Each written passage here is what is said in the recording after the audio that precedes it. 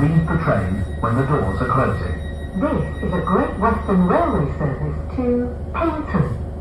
The next station is Crediton.